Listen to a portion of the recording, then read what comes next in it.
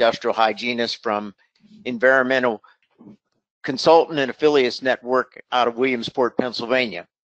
And basically, we do presentations online. We do a lot of training classes together. And I wanted to bring this one to the members this evening, give you a little bit of insight as to mold. And what do you need to know as inspectors? Well, let's put it into reality check here as far as understanding what we're doing when we walk into a home. Give me one second here, please. This is a house in West Virginia. This house was buried on a mountain ridge. It was between the top of the mountain and the bottom of the valley. When you pull up into the driveway, you can see it's all surrounded by trees and shrubs and just a lot of greenery. Now, when you walk around to the front, there's not much front yard, maybe 10 feet before you drop over the front cliff. Basically, you walk around to the other side and you can get a better view of exactly how this is resting in the middle of the mountain. Now, when you walk inside this house, it's pretty clean. Looks clean as a whistle, everything about it. We're talking about a half million dollar home here. You can see everything in here as pristine as can be.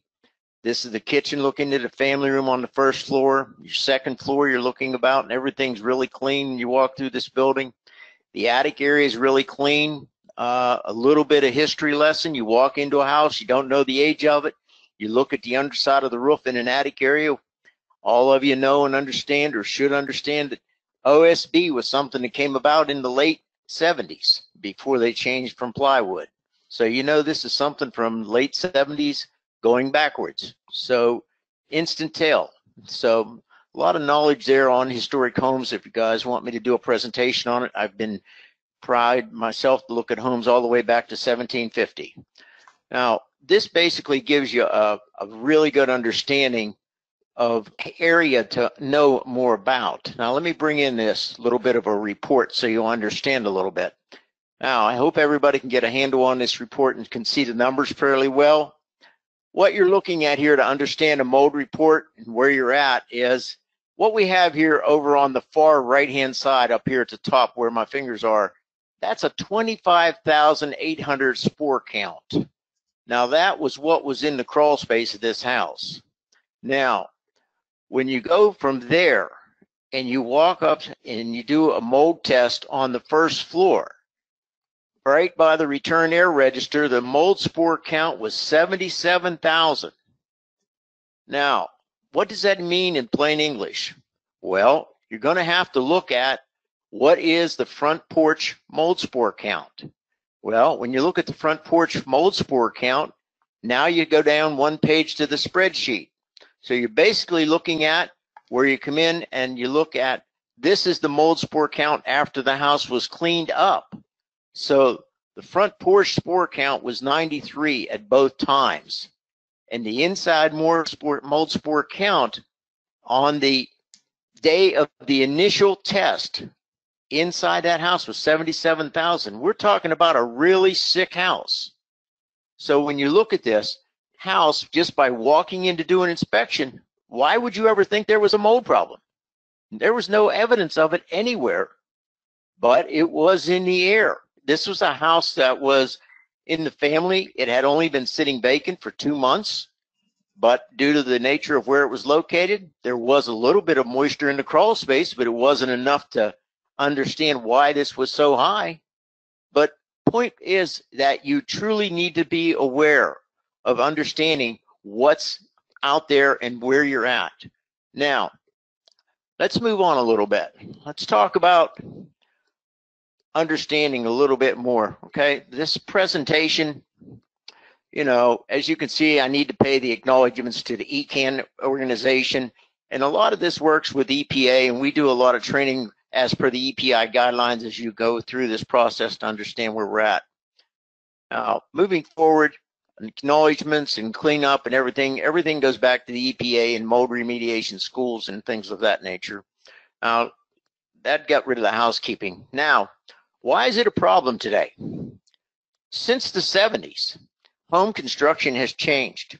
Those foreclosures, they close for long periods. As Mike said, they're pretty much getting to the point where there are not as many around as there was over the past five years.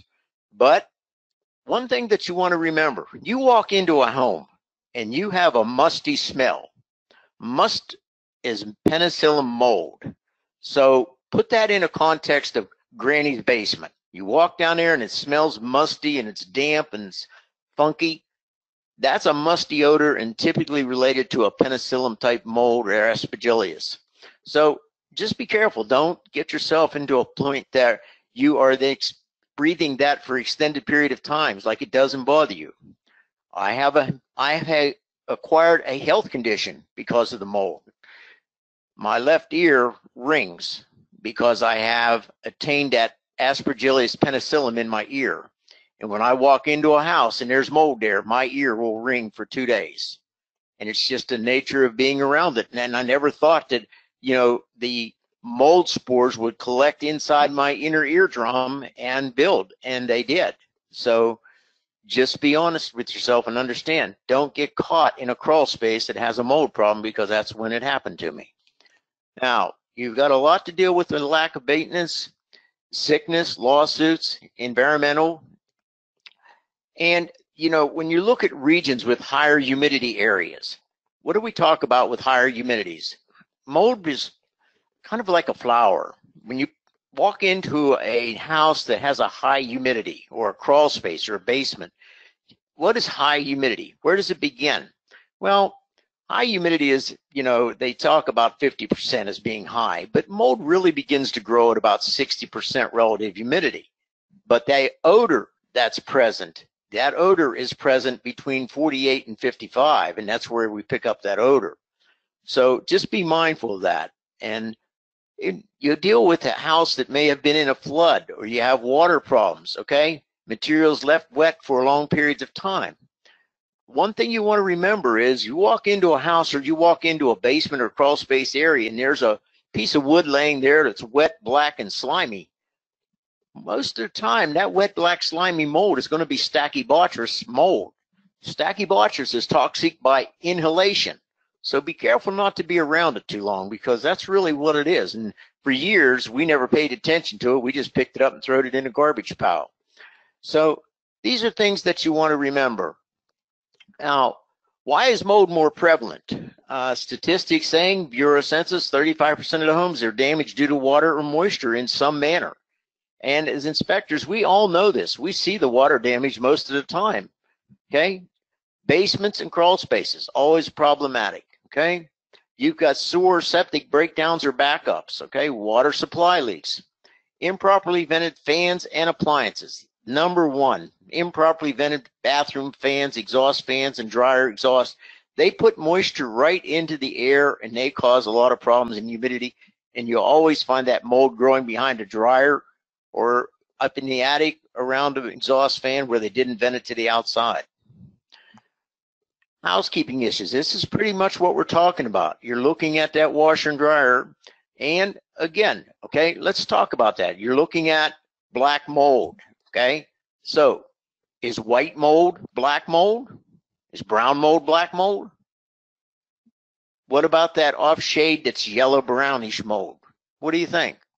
Well, mold changes colors based upon temperature, relative humidity, and the surface that it's growing upon. An analogy would be bread. Bread is a soft product, so typically we see mold that's green, but it's still mold, and that's why the color is different because of the softness of the material or the composition of what it's on. So these are things that you look at. We always walk into bathrooms, we see these bathtubs areas with the mold sponge around it. Do you write it up in the report? What do you tell the clients? Do you let them know that there's an issue there? Cover your bases. Attic areas. I'm sure that everyone here has seen attics that look like this. And that is something that is quite pronounced in areas where we live. Okay. Another trade you want to look at is the left photo has plywood on the roof. The right side has OSB on it. So you're looking at houses from two different eras. So keep in mind Pay attention to the construction practice so you know where you're at. Now, let's talk about what's caused these construction issues over the years. Well, we've added more insulation. We've decided to change to the energy code most of the areas and most of the states are changing to adopt different types of energy codes, whether it's the IEC 09, whether it's the 15 or like the 15 or the 18. Maryland is running, I believe, 15 right now. So there are concerns that these homes are going to become so tight that they're not properly ventilated. So there's not enough air to live and breathe in the home. So there's not enough carbon dioxide. So if there's not enough air flowing in there and there does happen to be any type of excessive moisture in the lower level, you're naturally going to accumulate mold. So these particular products are important to pay attention to when you walk through a home and understand what's going on. Many of you do new construction inspections. You pay attention to how they wrap the windows with the Tyvek and the flaps and they wrap around if you're doing pre-construction inspections or the side flash or the seal flash. You know, these are really important. That's why they're there because these are moisture prone areas where that moisture is wicking in around that window. So pay attention to this whenever you're doing your home inspections if you're doing site inspections for new construction. Now, what is mold? Mold is simply a fungus. Mushrooms, mildew, mold, fungus, growth. Uh, prime example, how many of us see in a basement area where you have effervescence growing on the wall? And we do a lot of engineering certifications for the banks when they're now calling out in a basement area that the appraisers are going in and say there's mold down there and they call out the effervescence as mold and they want a mold test performed just to verify that it's not mold. Well, these are things that you have to be cautious of because if there's a growth there, the potential to have mold that's part of the an integrated part of the effervescence is very possible. So purpose of mold is breaking down dead materials, okay, such as the wood and the fibers, substances used in the building materials. It's the bio in the biodegradable. Fungi and mold grow from organic matter. Everybody here, we know underst we understand what organic matter is. Carpeting, drywall, paint. Paint is something that is moisture prone to have that mold grow on it if it has excessive humidity blowing upon it. A hot dryer vent. You saw the picture of the laundry area. That's what caused that you mix the moisture from the washer machine vapors and you put it together with the hot air from the dryer, you're going to have mold behind your appliances. Pay attention. Put your camera behind it. Take the pictures. Make sure you check it. Don't get caught with your pants down so you don't end up with getting a letter from somebody and saying you missed it. What is mold? Molds produce airborne spores and gases. Molds like moisture, relative humidity plus 40%. Now you went over that. Molds like temperatures between 32 and 104. Did you read that? 32 degrees Fahrenheit to 104 degrees Fahrenheit. Typically, molds do not die above or below these temperatures. They just go dormant. I'm going to repeat that. The molds do not die. They just go dormant. What is mold in this graph on this pyramid that we're looking at. So when you have your wet molds over on your left hand side, you know you're dealing with 100% moisture or 100% relative humidity. So these are your dry molds going down to your lower limit growth, and it's too much of a bar graph to get into this because I don't have the time with this. But you can see by looking at the area right here where you're 60 to 70%. This is the lower level limit of your growth. And this is what's important. That's what I was saying. You know, your 50% range all the way down here that they talk about on humidity. So, you know, your mold really starts to take off at that upper 60, 70%. Okay. But you also have to look at your bar graph down here to understand that that temperature can and also start down here somewhere at about 45 degrees when it hits up in here. So again, the lower temperatures can produce the mold growth. So then you have to worry about what type of a nutrient is available that's causing that to grow. So there's a lot of things that enter into it. What's a nutrient? A nutrient is the carpeting. You know, you might have some old wood shelving down there that's been down in granny's basement for 50 years. So these are things that you have to look at. Take a light, shine it across it. If you see fuzz growing off of it, like a five o'clock beer with nubbins, and you know you've got something there that's in extended growth with active mold growth. So things like this, you need to look, be cautious and very careful about this today. Who's liable? Ah, good one. Who's going to be liable? The attorney's going to call you. The inspection company's going to drop into the home inspector. Basically, the realtor's going to have to be tied into it. I mean, these are a nucleus of liable situations for mold. So this is something that I got involved with because I felt that it's very important for each and every one of you to cover your bases, to be knowledgeable on this. If you don't want to do the mold testing, at least understand that it's there and write it in the report. Cover your base. That's all I'm asking you to do. Litigation, most claims are based upon the allegation that the company realtor should have known about the mold or, mold or possibilities of mold and did not disclose it. And that's where I'm going with all of you. Write it down. Take a picture of it. Put it in the flipping report. I don't want you ending up with an attorney from a sending you a letter that you're going to end up having egg on your face or activate an E&O policy. So just make sure you cover your bases, no matter how minor it is. If it's, it just call it a fungus, a biological growth, uh, just something that takes you off base. You don't have to say it's mold because it's not mold unless it's physically tested and sampled. How do we protect our business from litigation? Risk management practices. We have certified inspectors, use of qualified labs, thorough inspections. Okay, you need to identify the red flag areas, proper testing, documentation, photos, disclosure. You know, ECAN, when we put all this together, we basically have all the formats. If you ever join that organization, you get all the samples, you get all the data, you get all the contracts, you get the forms, and everything's already there. They're already created by the attorney teams to put this together. So something to think about, okay? So the other thing you're looking at is a certified mold assessor will be able to identify red flags. What's a certified mold assessor? Is that some guy that goes out there and you guys have basically attained sampling? Or is it something that you basically are in the process of learning how to write a report based upon the samples that were taken. Now that is a mold assessor.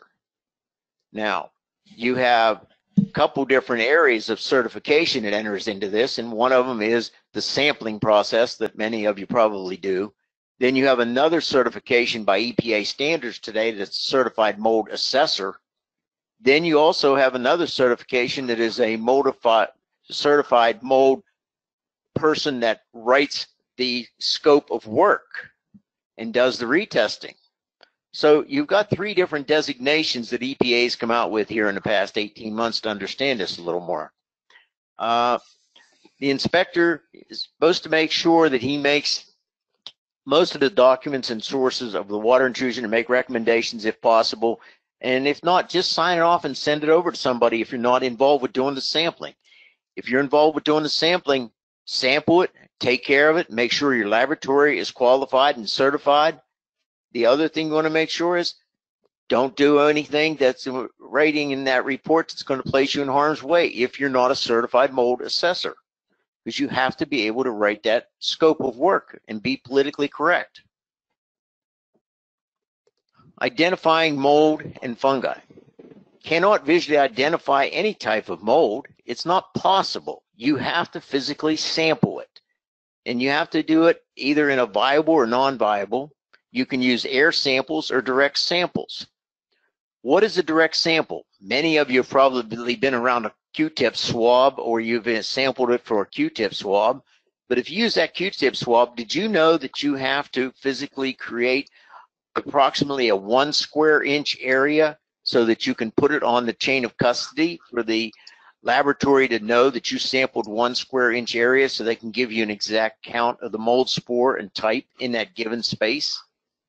You, If you have a tape lift, that's why a tape lift is one square inch.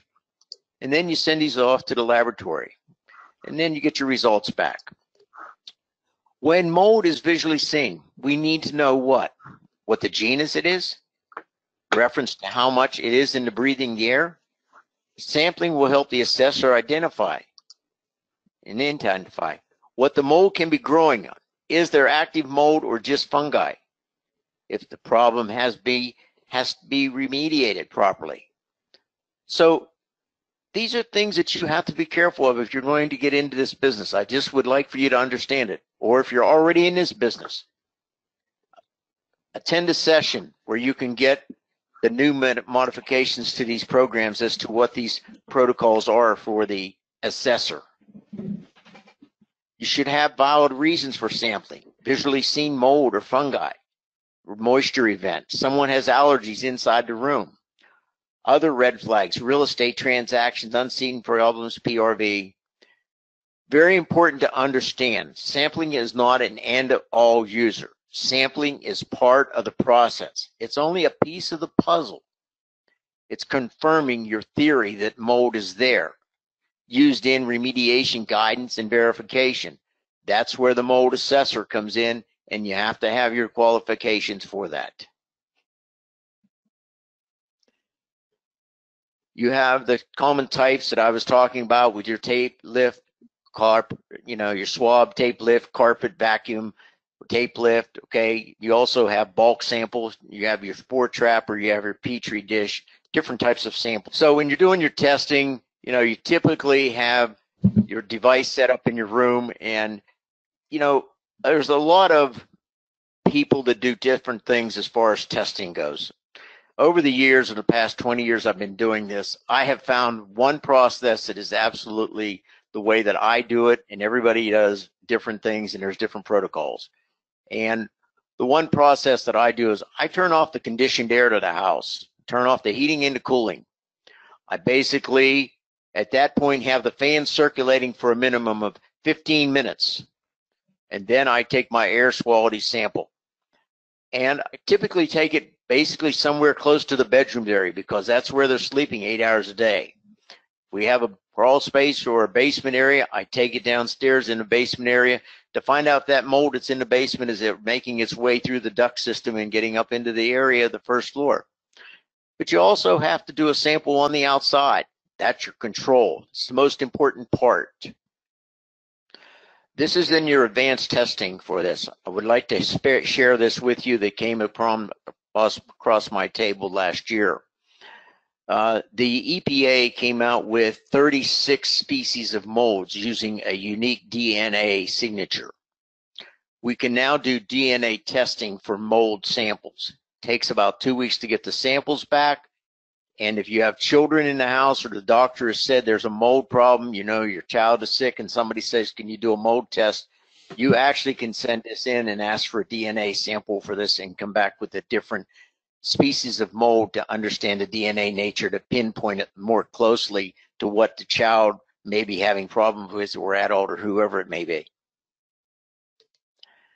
Interpreting lab reports, important item to remember, children under six years, respiratory illness, allergies to specific molds, and it can impact 10 times more. Use activity of the room, exercise room, play area interpreting lab reports. This took me a long time to learn how to do this. It was not something that came about very easy. I mean, you can look at it and somebody can explain it to you, but when I turned around and started doing these reports, I actually took these reports and started putting boxes on it so I could educate people because everybody always call up and say, you know, I don't understand this report. Can you tell us more about this report? So these are things that you look at. So when you look at another mold report like this, and let me see if I can expand this a little bit for you. So this is a house that has on the exterior the mold sample, and we're going to pick Aspergillus penicillin. So when you're looking at your Aspergillus penicillin, I got a 480 count on the outside, but in the basement bedroom, I've got 2100 count, and on the first floor, I've got 680. So the house was literally growing mold. and that's how you look at these reports. You look at the control sample. So understanding this a little bit more helps you to know, but you have to also look at, you know, what about the house? What type of house are you looking at? Well, when you look at that mold report, you have to understand where is the house located? What is going on with this house in reference to water, land, mountaintop, or trees, shrubs? What is actually going on? Well, when you look at this house, you're looking at this particular house right here. When you look at that, that room that I sampled with 2100 was right here in this bottom corner. This is downwind of a major mountain, and there's the lake. And this is only 100 feet away from that lake. So you guys are smart enough to know the water coming off that mountaintop is flowing right towards this house. Now, the builder didn't do a good job in taking care of it. And this house is brand new. This is a little house that I'm involved with as an expert witness to go in and help the people with this with against the builder. But the point being is the mold was in this area here and it's in this area over here where they have this bump out and they put the soil close to it. So we had a lot of moisture and that's where the mold counts are high in that basement area. So you have to pay attention to where's the house located, all the greenery, where's it at downwind of the mountaintop or upwind, these are important factors when you deal with looking at mold. So just giving you a reality check as to you guys do these kind of inspections every day. So you want to know, pay attention to the house, where it's located. Okay. Air sampling reports, um, direct sampling. These are things that we always have that are fingertips and EPA. We will identify what molds were found in that area. EPA, no mold growth indoors. That's what they want, which is not possible, but there's always going to be mold in every house, but you have to minimize it. Levels of your inspection service. There are three levels of inspection services that are offered in mold testing.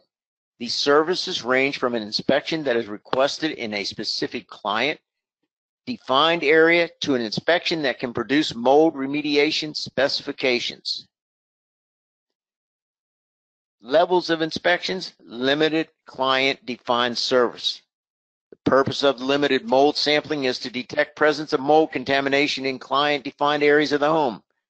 This service provides a fast economical method of testing. The limitation of this service is that other sources of mold may be present in the home. And that's where you have to be careful. So a lot of you do mold testing and mold sampling. Some of them you might want to get involved with it you just have it it's a learning curve it, it is a learning curve it's not something you just jump into and a lot of these inspectors out here and probably some of you have already just jumped into it you have to know the cautionary areas so you don't become in a lawsuit. Levels on the inspection mold inspection assessment. This level of inspection utilizes a visual inspection of the entire home identifies red flags for mold okay? I'll give you an analogy briefly. I'll tell you into, I was called to a daycare in the Morgantown, West Virginia area where they had babies up to three years old in this daycare. And they had mold problems and one of the kids got sick. So they really shut it down and the mothers contacted me and asked me if I'd come in and look at it. Well, I did.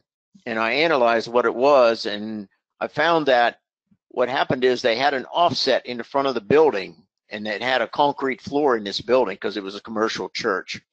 And what happened was they had the metal Q decking inside the two rooms in the lower level that was exposed above the ceiling. And they always had water leaking in there. And they kept saying they sealed the outside of the doors and they sealed the outside of the door. Well, where this water damage and mold damage was located is there was movement from the southwest side to the northeast side, which is where this was located. And this was up in the mezzanine area where the heat was rising and meeting the cold air above the ceiling. So you have a condensation factor that was going on. And we ended up having Stachybotrys mold there, and it was quite abundant. So, I mean, it took a lot to get it cleaned up. and I wrote it up and we got it cleaned up. They had a company come in and they cleaned it and it still wasn't done. And what happened was the mold was so intense over the years that it basically engulfed into the 12 by 12 ceiling tiles they had in this building because it was an older building. And it had absorbed into this soft material. Now, once they painted and sealed it and encapsulated everything, it was fine and the mold test came back positive without any problems. It actually came back near zero. So that's what I'm saying. You've got to be really good at guiding this and understanding where they may be, and you've got to find those red flags. Now, these are PRV is your post remediation verification, and that's basically where I went back in, did a sample, and came back one time and found that it was still there. And I told them I wouldn't even sample it because it still had a strong sense of the aspergillus and penicillin mold, and it was foolish to do a sample. So finally, we just came in and I actually rewrote the protocol and told him after that gentleman cleaned it up, and he was a professional ACC certified, and it still was there. And he said, I don't know what to do with it. So these are things that you have to learn. It's a learning curve. Contracts and agreements. Uh, ECAN, we have lots of contracts. We have our contracts and our agreements that we share with our members so that they have the correct information and they're not getting in trouble. We also have it set up for your signatures, your scope, confidentiality. Uh, typical charge for doing mold in our area, pretty much nationwide, the average is 125 per sample. We typically do three samples, okay? Um, we don't you know, we're running in that 350, 375 range when we do three samples. But when I do that, I do also include the assessment for that as well. But a lot of guys are just doing the sampling and then saying, you know, contact somebody else to analyze their documentation. So you have to understand that a little bit to know what you're dealing with, okay? You got some hard cost in your gross profits. If you did decide to get in this or you're already involved with it, you got 30 minutes for sampling, three samples. Uh, your lab fee, typically 15 to $35 a sample, and your sampling device, one to $3. You know, report, you got some time in writing that, and you got a potential profit margin. Okay. So, you know, generally you're making, you know, you can make $225 on a, a mold sample on a house if you're out there. So, and that's after your expenses. So that's why it's always been a good sideline, you know, for my business as far as inspection go. Okay. Now, pretty much covers a lot of it that I went into. Um, I'd like to entertain a few questions right now. Hollis, do you want to open it up if we have any questions? All right, so if anybody has any questions, I think we do actually um, have a couple of questions. Sean, are you? How do you write it up without testing it? I'm sorry, say that again. How, how do you write it up if you don't take a test? What, what do- would you put in your report, or what do you suggest we say? That kind of thing. You're just going to make, uh, you're going to take a picture of it, you're going to put it in a report, and you're going to document that there is evidence of fungus that appears to be a biological, that is a biological growth with mold-like properties. And let it go. Do, do not go any further than that, okay? Bi- your Biological, gro- biological growth with mold-like properties. Yes. So, and everybody has different terminology they use, but uh, I had our attorneys go through this and they told me that was the best one to come up with. Plus, you know, ECAN, you know, we kind of stick with that as well. So just something to think about. Does that help you, Sean? Yeah. Yeah. Um, another one. What do you what do you do for outdoor samples if it's raining? I don't do mold samples if it's raining. I never did. I, I'll cancel and reschedule. I do not do mold samples when it rains or snows. I know a lot of people do, and they'll go under the porch or something, but I don't. I don't feel that that's giving the best example of the mold that's in the external air. So straight out, I cancel. Always have. Because you don't That's all I get, because you don't, because you don't get a, um, a good baseline is, is the reason. That's correct. You don't get a good baseline, Hollis. You do not. And that's the that's the one thing that's really important as I've been showing you in these reports. The baseline is what everything you're going to sample inside that house is based upon. That control is your outside. And you have to do that sample And you should do it at the door that is entered the most by the people living in the home because that's the one that's letting the mold in and to the house more readily. And it should be within five feet of that door. That's another process that most people don't know about. Okay. So a lot of people will take that mold sample and set it up between four and five feet in the air in a room. I put it at approximately three feet, 30 inches to three feet. And I put it somewhere close to where the return air vent is located. And I pull the air from the house, and that's why I have the air circulating. So I'm pulling air back through that filter on my device so that I can get a good volume of air in that house. Does that help you, Sean? Yes. Questions? Okay, thank you. Hollis? Looks like we got another one. What's, what's that next one mean? Um, Biological growth I think mold-like yeah, he, he was liking that language too. You guys only like Yeah. that language. So Charlie, what, um, what percentage of, uh, of your home inspections do people order a mold test with? We're running at about 70%. Is that right? And how, so what do you do to promote it? Do you go- Actually, go- not. They're the, this younger generation, this X generation of millennials in our area, they just call and ask for a price on a mold sample. And we tell them, you know, whenever they call and Rose is on the phone because she takes all the calls, she'll say, you know, why don't you wait and let us look at the house to see if you really need the samples? But, you know, this, they'll just automatically say, just go ahead, and schedule. We want it done. We want to know. Uh, it, that's the mentality and it's the younger generation. It's the it's the 24 year olds to the 30s that they're doing it all the time. So So you're doing tests when you don't see any evidence. You're doing it just because they asked, because they had a concern. They just asked for it. very much so. Okay. So look at that. what percentage of those are you getting hits on? Well, let's go here. Let's take this house here. Let's talk about this one. All right. All right. This is the inside of the basement area. This is the clean house. You don't see any mold anywhere, correct? Okay. Nothing. All right. But this is where that 2100 count of mold was located. This is where it came from, right here behind this wall. So I went in and I used my four inch moisture probes that I have, and I went right over top of the baseboard into the wall stud. And basically, my moisture reading, reading behind this wall was 36%. Everybody here knows how bad that is. It's not good, 36% behind that wall.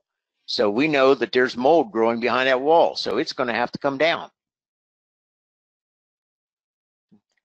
The other thing I do when I do a mold test is I take the relative humidity and the temperature right by the device and I put it in the report to cover my base to know what was the relative humidity in here. Well, as you can see, we're only at 41% and 64 degrees Fahrenheit. So we're really not overwhelmed with excessive humidity, but we do have moisture there. Now, when you go to the next test in this room, here's the family room of that house looking over the lake. You see where my test is taken. So this test right here was reading in at 900 right here in the family room area. And they have two small boys that come down here and play video games. So they were very concerned about it because the builder told them that it had a flood and he cleaned it all up. Well, that's all relative. Okay. So these are things that I look at. Now, when you look at that part, there's your sample again. Then when you go upstairs in the master bedroom, this sample was taken in the master. And then you guys remember by my mold sample, my mold, let me see where I'm at here, guys. All right, so looking back and go back to your first floor master bedroom, we don't have any spore counts on the first floor, guys. See where I'm at here at zero? So that tells you that the mold was only in the basement. It wasn't on the first floor. So these are what you're looking at to understand and get a handle on understanding these reports.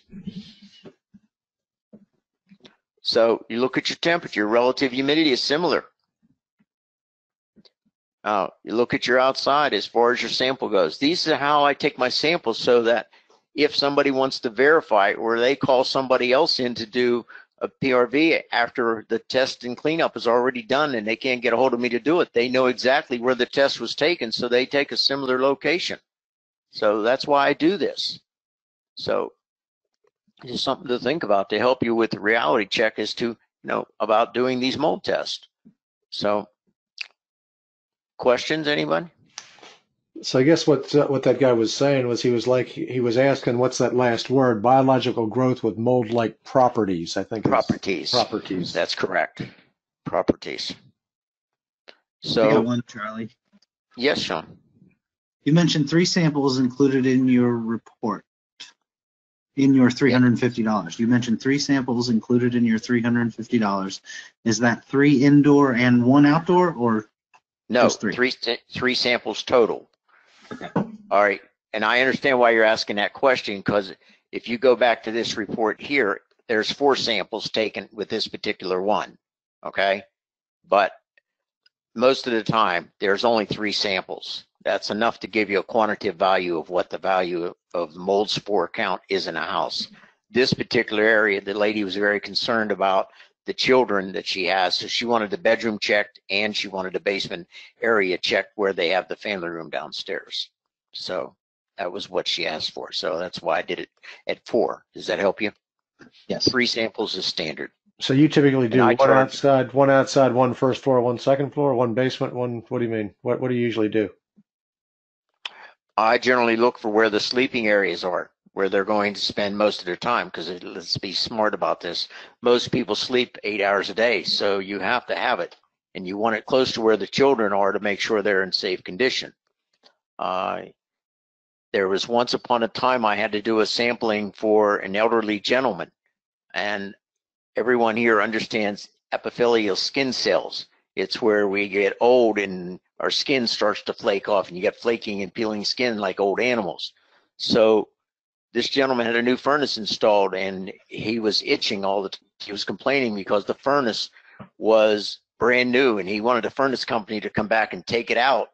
The furnace company called me to go in and take the sample. Well, I went in and did the sample right on top of his bed, literally, and took a couple more throughout the building and it came back that there was a 300,000 count of epithelial skin cells, and his daughter was a nurse. And I sent it to her, and I said, "The problem is not the furnace. Your father has flaking and peeling skin." And I said, "It's itching and it's bothering him. You need to get his bedclothes cleaned." And it was just so you know, the, I, I, I've run into a lot over the years, and I've learned a lot, and it's it's helped me to understand a lot of these problems. But you know, the one thing that is pronounced whenever you're doing these inspections, pull the return air register grill. If it's in a floor, put your camera down it and take a picture. If you're in a, the typical time to clean ductwork is eight to 10 years in a house. If you didn't know that, put that in your memory banks. You pull the register off on the return side, put your camera down it when nobody's looking, take a picture of it and see how bad the duct system is and how dirty it is just double check it because that is always the number one reason when you deal with allergenic conditions for children or anybody having problems. Just check the ducts, make sure they're clean. It's very important. I got a question for you, Charlie. Have you, um, have you experienced any issues with mold related to like mini splits, that modern, you know, modern mini splits hanging on the wall? We don't have a lot of them in the West Virginia, Pennsylvania area. You have more of them in your area. So we really haven't, you know, and I can't say that I've experienced any issues with them other than one time, and I'll give you where it was. And this just happened one month ago, two months ago. It was a house. They had it in the second floor. It was a Cape Cod. They put it in the end unit of the second floor, and they had a unit out through the side wall, and it was facing southwest. Well, that's where our storms come from where we live. So water entered in around the unit because they didn't have it flashed on the outside correctly. So I did a moisture check and I, I, I took a sample of where the drywall and I bagged it and I sent it to the lab and it came back. Now, I assume that majority of you understand this particular type of mold right here that I'm going to put my finger on right here, this Stachybotrys, okay? That is the danger mold. That is the most, that's the mold you don't want to get a hold of. It's toxic by inhalation. So anytime you bump into that, it's a problem. Well, this particular mini split system had Stachybotrys mold in the plaster around the unit. And when I took an air sample in the area, it was overly abundant. So they had to come in and basically remove the complete unit. They had to remove the wall cavity because it didn't seal correctly around the unit. So if I had to tell you which one to look at, if you guys have moisture probes, two inch moisture probes, look around those units and verify that they're not leaking moisture around those units. That was the, that was actually the third one, but that was the one that was the worst. So that's what I deal with, Sean. That's where they're at. And I know that you were looking at about the air quality as to whether it has a problem or not, correct? Yeah, it's, yeah, And you're looking at understanding if there was water leaking into there, then that water is the mold that's leaking or laying on the outside of the unit and it's leaking and leaching down inside the unit onto the fins and the coil for that heat pump unit because that's what these are. So those are contaminated. So when I turned Yeah. on that unit, guess what I was breathing, Sean? Okay, sounds lovely. Stachybotrys. Yeah. So, so that's what you, I mean, all of you should pay attention to those on these mini splits because that's where it leaks mostly. Okay, that's your problem. I got another one. In your experience, is it easy to sell a mold test when there's a drip humidifier installed on the HVAC? It's a trick question. I always take the cover off the dehumidifier and look at the filter because the number one reason for mold in a house is the humidifier filter because half the people never change them and they're typically engulfed in calcimization with blacks mold all around it. So it's not hard to sell that with that particular type of system, but you know, you've got to do a little bit more. And you know, most of the time when you're doing that humidity problem, you've got to watch where you're at with the duct system because if that moisture's there and that duct system's dirty, then you are adding water to the flower with that dust inside that system, and that's where it's going to increase. So no, it's not a hard sale. I mean, I haven't had a hard sale with it. So you were talking about uh, doing two indoors and one outdoors. Is that regardless of the size of the home? Well, it depends. If the houses are really large and they're a football field, then I'm going to recommend that there's another sample taken in another section of the households. Okay. Um, I mean, there's sometimes we have home, you, I mean, everybody here knows we sometimes have two furnaces in houses today. So you have to be careful how you're doing these testings because if you're doing one upstairs and you have an attic system and an attic furnace up there, then you have to run that system different than the one downstairs and you got to watch they don't cross contaminate so you don't enter that and you have to shut them down and do them separately. That's why I turn the air off or on when I'm doing this. So there's there's a methodology to doing it. It's something. It's a learning curve. You have to be smart about this. Have you encountered um, other inspectors basing their fees off of square footage? No, not not in the West Virginia area. I mean, I've done it for years, only after three thousand feet. But uh, you know, up to three thousand, no. I thought all the houses in West Virginia were 2,000 square feet, uh, 150 years old, and had a cracked the foundation wall. Is that not true? No, actually, they're actually built on uh, concrete slabs and st- I'm sorry, on stone slabs that are uh, 16 inches wide, uh, 48 inches long, and a foot thick, and that's what they have all these houses sitting on in West Virginia Hollis. Okay. I stand corrected. that's what they built them on back in, in the 1800s. One of these days, you'll get me in here to do one of these classes to teach these guys about mortar. I'll give you guys all some trivia for the day. Okay. When you were dealing with understanding what is cement mortar versus what is used in mortar. Now we're going to go back a few centuries, several centuries, to whereby what was the product that they used to make mortar when they were building all these buildings back years and years ago. That basically, Was it lime putty? it was lime, but what did they mix with it, Wellamy?